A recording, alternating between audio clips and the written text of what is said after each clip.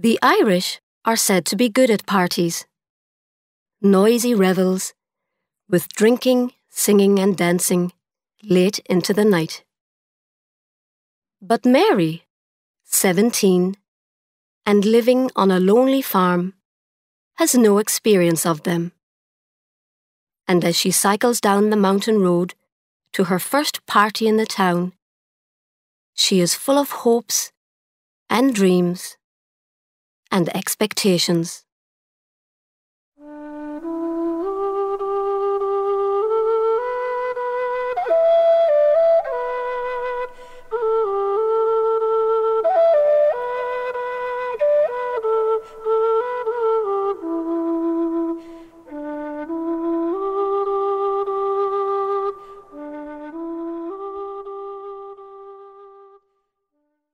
Mary hoped that the ancient front tire on the bicycle would not burst. Twice she had to stop to put more air in it, which was very annoying. For as long as she could remember, she had been putting air in tires, carrying firewood, cleaning out the cowshed, doing a man's work. Her father and two brothers worked for the forestry company so she and her mother had to do everything. And there were three children to take care of as well. Theirs was a mountainy farm in Ireland, and life was hard. But this cold evening in early November, she was free. She rode her bicycle along the road, thinking pleasantly about the party Although she was 17, this was her first party. The invitation had come only that morning from Mrs. Rogers, owner of the commercial hotel. At first, her mother did not wish Mary to go. There was too much to be done, soup to be made, and one of the children had earache and was likely to cry in the night. But Mary begged her mother to let her go. What use would it be? Her mother said. To her, all such excitements were bad for you, because they gave you a taste of something you couldn't have. But finally, she agreed. You can go as long as you're back in time to milk the cows in the morning, and don't do anything foolish, she said. Mary was going to stay the night in town with Mrs. Rogers. She had washed and brushed her hair, which fell in long dark waves over her shoulders. She was allowed to wear the black evening dress that an uncle had sent from America years ago. Her mother said a prayer to keep her safe, took her to the top of the farm road, warned her never to touch alcohol, and said goodbye. Mary felt happy as she rode along slowly, avoiding the holes in the road, which were covered with thin ice. It had been very cold all day. At the bottom of the hill, she got off and looked back, out of habit, at her house. It was the only one on the mountain, small and white, with a piece of land at the back which they called the vegetable garden. She looked away she was now free to think of John Rowland. He had appeared two years before, riding a motorbike daringly fast, and stopped to ask the way. He was staying at the commercial hotel and had come up to see the lake, which was famous for the way it changed colour at different times of day. When the sun went down, the water was often a strange reddish purple, like wine. Down there, she said to the stranger, pointing to the lake below. Rocky hills and tiny fields of bare earth dropped steeply towards the water. It was midsummer and very hot. The grass was tall, and there were wild flowers, blood red, close to their feet. What an unusual sight, he said, looking at the lake. She had no interest in views herself. She just looked up at the high sky and saw that a bird had stopped in the air above them. It was like a pause in her life. The bird above them, perfectly still. Then her mother came out to see who the stranger was. He introduced himself very politely as John Rowland, an English painter. She did not remember exactly how it happened, but after a while, he walked into their kitchen with them and sat down to tea. Two long years had passed since that day, but she had never stopped hoping. Perhaps this evening she would see him. The postman had said someone special in the hotel expected her. It seemed to her that her happiness somehow lit up the greyness of the cold sky, the icy fields going blue in the night, the dark windows of the small houses she passed. Suddenly, her parents were rich and cheerful. Her little sister had no earache. The kitchen fire did not smoke. Sometimes she smiled at the thought of how she would appear to him. Taller and more womanly now, in a dress that could be worn anywhere.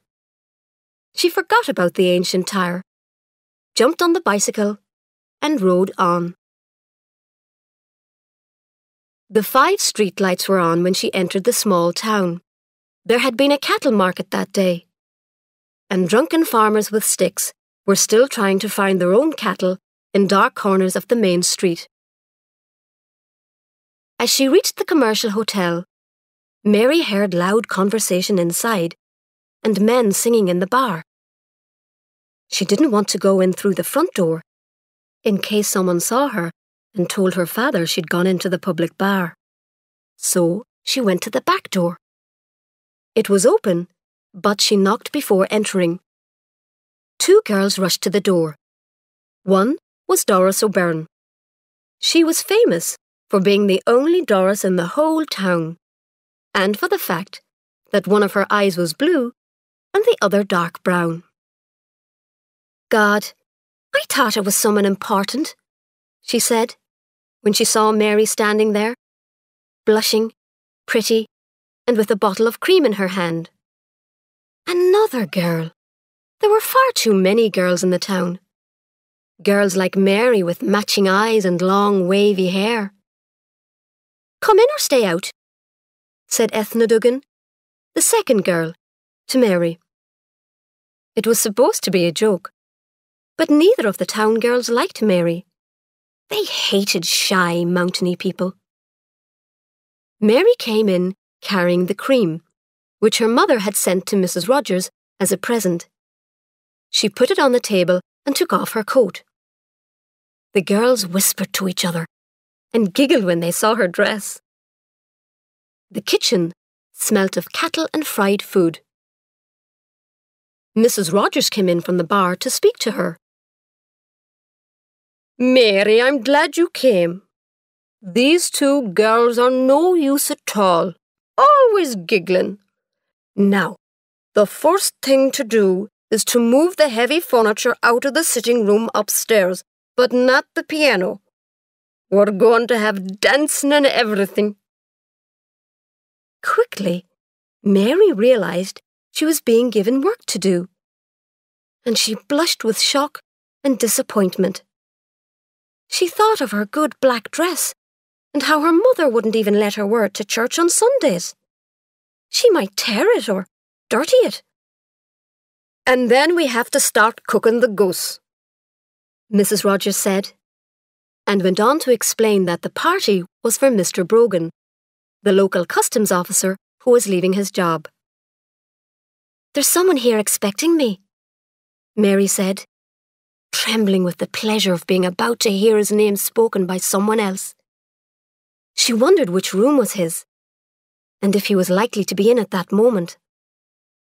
Already in her imagination, she was knocking on his door and could hear him inside.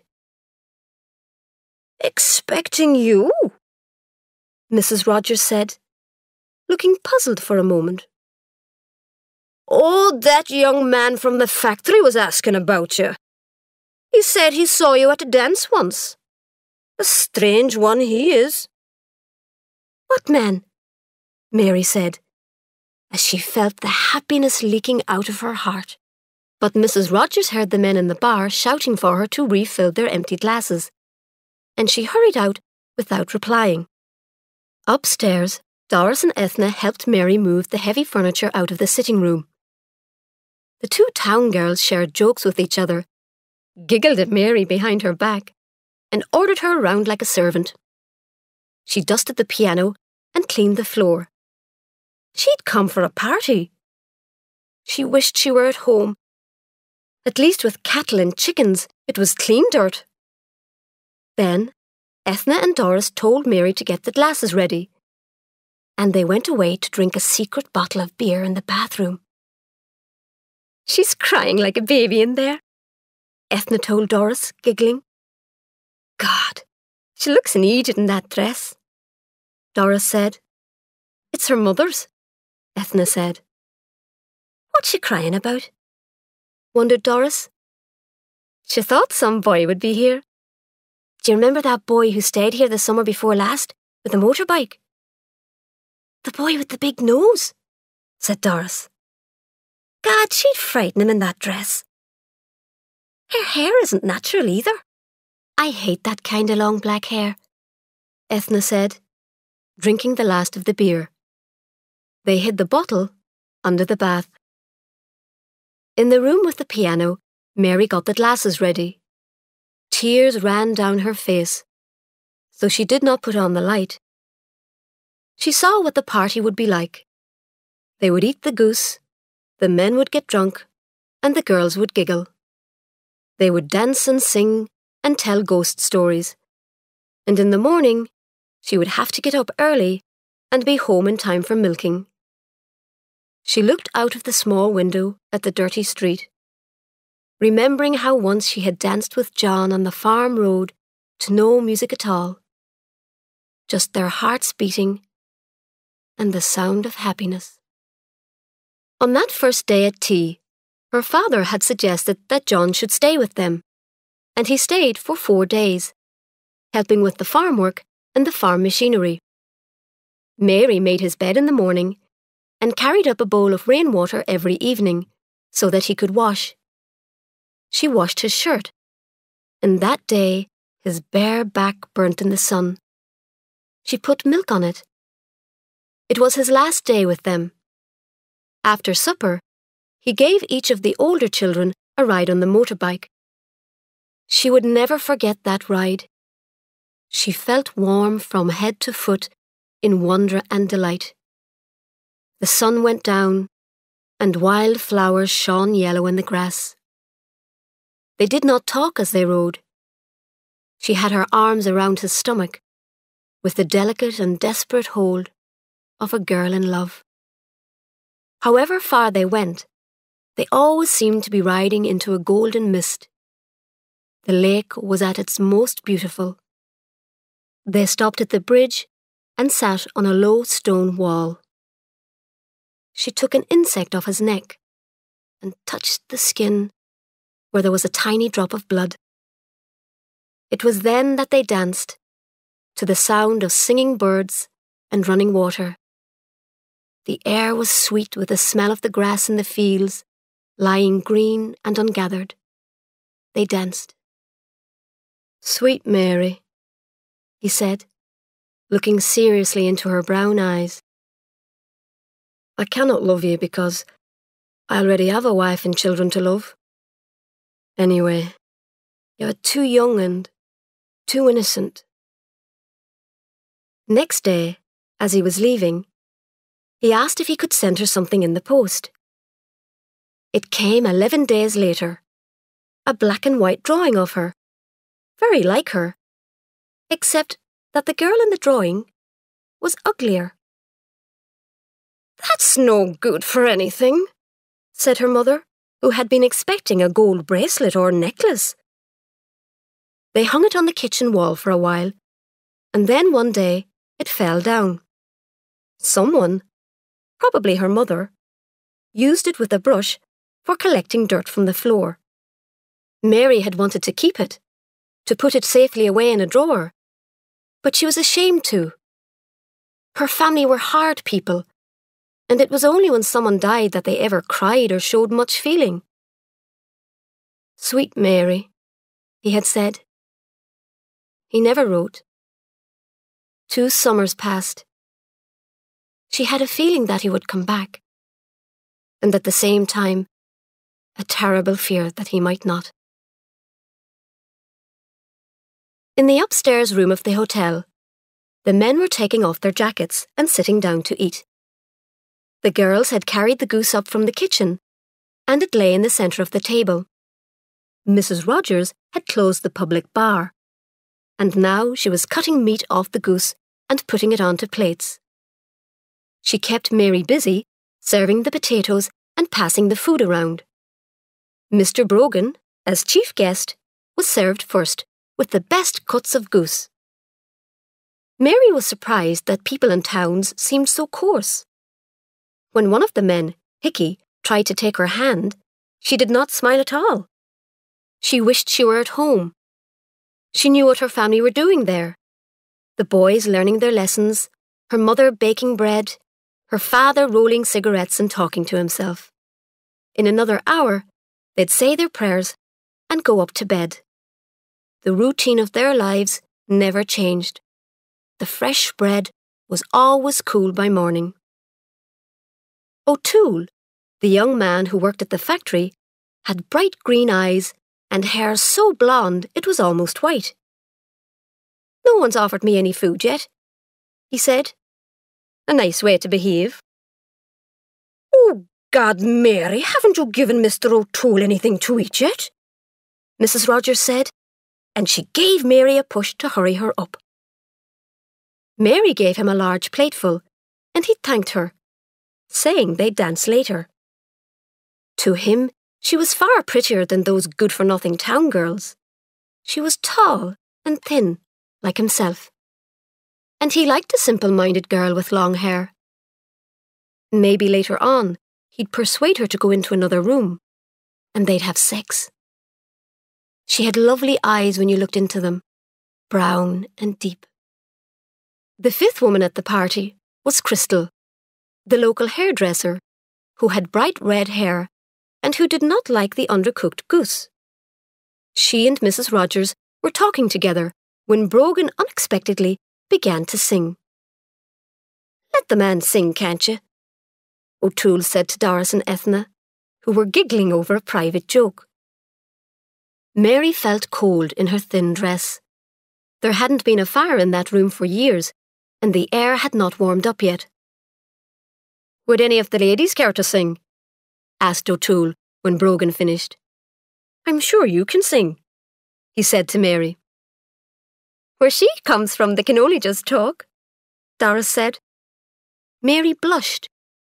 She said nothing, but she felt angry. Her family ate with a knife and fork, she thought proudly, and had a cloth on the kitchen table, not a plastic one like this and kept a tin of coffee in the cupboard in case strangers came to the door. Christ, boys! We forgot the soup, Mrs. Rogers said suddenly, and hurried out with Doris to fetch it from the kitchen. After the soup, O'Toole poured out four glasses of whisky, making sure that the level in each glass was the same. There were bottles of beer as well. The ladies had gin and orange. Orange for me, said Mary. But when her back was turned, O'Toole put gin in her orange. They all raised their glasses and drank to Brogan's future. Long John Salmon, the fourth man at the party, asked Brogan about his plans, and Brogan began to talk about the things he wanted to do to his house and garden. Come on, someone tell us a joke, said Hickey after a while. He was bored with gardening talk. I'll tell you a joke, said Long John Salmon. Is it a funny joke? Brogan asked. It's about my brother Patrick, Long John Salmon said. Not that old thing again, said Hickey and O'Toole together. Oh, let him tell it, said Mrs. Rogers, who had never heard it. Long John Salmon told a story about his brother who died, but came back a month later as a ghost, walking through walls and around the yard. Ah, God, let's have a bit of music, said Hickey, who had heard that story nine or ten times. It had neither a beginning, a middle, nor an end. They put a record on, and O'Toole asked Mary to dance. Brogan and Mrs. Rogers were dancing too, and Crystal said that she'd dance if anyone asked her. Mary felt strange. Her head was going round and round, and in her stomach there was a nice feeling that made her want to lie back and stretch her legs, a new feeling that frightened her. O'Toole danced her right out of the room and into the cold passage beyond, where he kissed her, clumsily. Inside the room, Crystal had begun to cry, sitting at the table with her head on her arms. Gin and orange always made her cry. Hickey, there is no happiness in life, she cried bitterly. What happiness? Said Hickey, who was full of drink. Doris and Ethna sat on either side of Long John Salmon, talking sweetly to him. He was a strange man, but he owned a large fruit farm, and he was still single. Brogan, breathless from dancing, was now sitting down, with Mrs. Rogers sitting on his knees. The record finished, and Mary ran in from the dark passage away from O'Toole, who followed her in, laughing. O'Toole was the first to cause trouble. He became offended when Mrs. Rogers prevented him from telling a rude joke. Think of the girls, Mrs. Rogers said. Girls? O'Toole said nastily. He picked up the bottle of cream and poured it over the few remaining bits of goose. Christ, man, Hickey said, taking the bottle of cream away. Mrs. Rogers said it was time everyone went to bed as the party seemed to be over. All the guests were staying the night at the hotel. The four girls were going to share one room. In the bedroom, Mary sighed. Before they could go to bed, they had to move the heavy furniture back to the sitting room. She could hear O'Toole shouting and singing in another room. There had been gin in her orange. She knew now because she could smell it on her breath. She had broken her promise to her mother. It would bring her bad luck. Ah, girls, girls, O'Toole said, pushing their bedroom door open. Where's my lovely Mary? Come out here with me, Mary. Go to bed, you're tired, Mary said. He caught her hand and started trying to drag her out of the room. She let out a cry. I'll throw this flower pot at you if you don't leave the girl alone, Ethna called out. Stupid cows! The lot of you, said O'Toole. But he dropped Mary's hand and took a step backwards. The girls rushed to shut the door and push a heavy chest against it to keep him out. They all got into the one big bed, two at the top and two at the bottom. Mary was glad to have the other girls with her. I was at a party. Now I know what parties are like, she said to herself, as she tried to force herself to sleep. She heard a sound of water running, but it did not seem to be raining outside. At sunrise, she woke up. She had to get home in time for milking, so she put on her dress and shoes and went downstairs. There was a strong smell of beer. Someone probably O'Toole, had turned on the taps in the bar, and beer had flowed out of the bar and into the kitchen. Mrs. Rogers would kill somebody. Mary picked her way carefully across the room to the door. She left without even making a cup of tea. She found her bicycle, but the front tire was flat, so she walked rapidly, pushing the bicycle. The frost lay on the sleeping windows and roofs. It had magically made the dirty streets look white and clean. She did not feel tired, but simply pleased to be outside as she breathed in the beauty of the morning. Mrs. Rogers woke at eight and got out of Brogan's warm bed. She smelt disaster instantly and ran to call the others. The girls were made to get up and help clean the floors. Hickey, who had by then come downstairs, said what a shame it was to waste good drink. O'Toole, the guilty one, had left early. And where's the girl in the black dress? Hickey asked. She ran off. Before we were up, Doris said. They all agreed that Mary was useless and should never have been asked. And she was the one who encouraged O'Toole and then disappointed him, so he got angry, added Doris. I suppose she's home by now, Hickey said. Mary was half a mile from home, sitting on the grass. If only I had a boy. Someone to love. Something to hold on to, she thought, as she broke some ice with her shoe and watched the crazy pattern it made. The poor birds could get no food, as the ground was frozen hard. There was frost all over Ireland, frost on the stony fields, and on all the ugliness of the world. Walking again, she wondered if and what she would tell her mother and her brothers, and if all parties were as bad. She was at the top of the hill now, and could see her own house, like a little white box at the end of the world, waiting to receive her.